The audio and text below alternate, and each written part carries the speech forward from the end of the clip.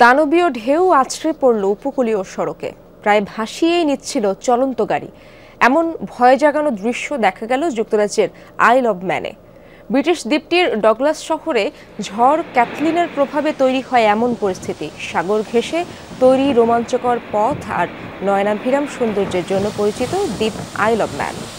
সমুদ্র তীরবর্তী রাস্তায় বিশালাকার ঢেউয়ের তোরে ব্যাহত হচ্ছে যোগাযোগ ব্যবস্থা। ইতোমধ্যে দ্বীপটির অন্যান্য অঞ্চলেও জারি করা হয়েছে ইয়েলো অ্যালার্ট। রোববার রাত পর্যন্ত চলে এমন ঢেউ আর ধাক্কা। ব্রিটিশ আবহাওয়া বিভাগের পূর্বাভাস, ঝড়ের প্রভাবে ভারী বর্ষণ হতে পারে কয়েকদিন। জারি হয়েছে বন্যা সতর্কতাও।